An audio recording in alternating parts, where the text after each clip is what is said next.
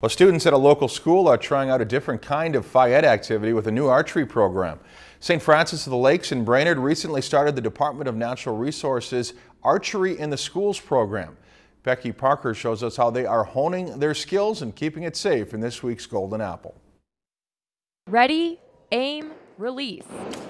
This is not just another day in Phys Ed. I think it's really fun and it's way different than some of the other stuff that we do in and I like that how it's different and it, like it changes things up a bit. Students at St. Francis of the Lakes School in Brainerd have been learning archery. We've been learning how to shoot the bow and like how you should shoot it properly and the stance and it's been just really fun. Especially in this area with all the hunting that goes on, the children and the parents were very excited to have the archery program come. The new gym activity was made possible by the DNR's Archery in the Schools program. It was paid for by grants from the DNR and the Minnesota Deer Hunters Association. The Minnesota Deer Hunters Association would get involved and does get involved because it is one of our four principles, education. The Archery in Schools program really gives the students an opportunity to get used to what could be used in the woods for either hunting or just recreational purposes. The school's physical education teacher took a training course to learn the proper techniques and the program's safety standards. When you're looking at arrows,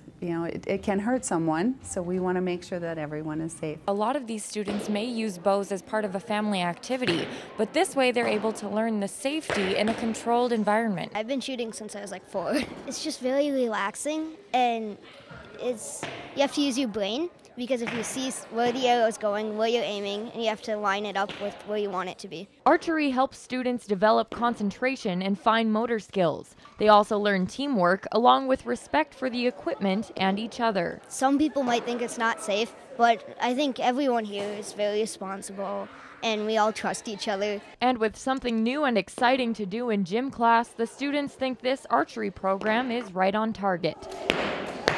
For this week's Golden Apple, Becky Parker, Lakeland News.